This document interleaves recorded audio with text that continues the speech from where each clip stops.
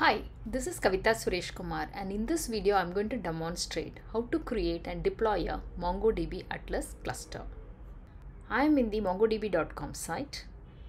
So I'm going to create a free cluster. So either you can start creating the free cluster by clicking this try free or the start free. I'm going to click the try free. I can either register by providing all this information or I can sign up using Google. I am going to do the sign up with Google. I'm going to use this account.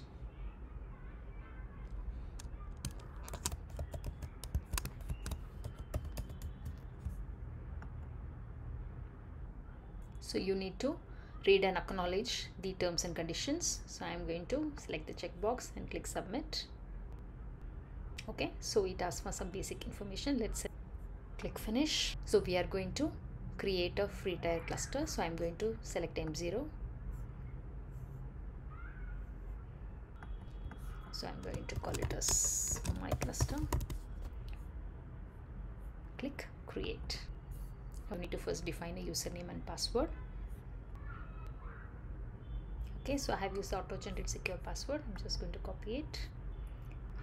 I'm going to click create user.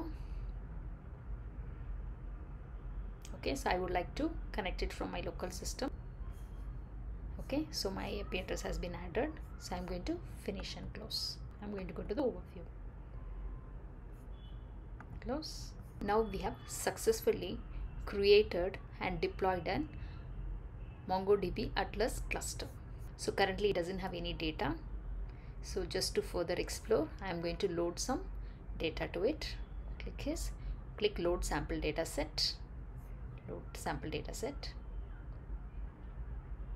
It is loading the sample data set. The sample data set has been successfully loaded. Click browse collections. We could see there are 9 database and 23 collections loaded. Okay, so here you can see this. You can browse and see the the actual document. And if you want to click and if you want to insert a document, you can click insert document and insert a document. In this demo, we have seen how to create and deploy a MongoDB Atlas cluster and then we loaded sample documents to that cluster. If you like this demo, please do like, share and subscribe. Thanks for watching the demo.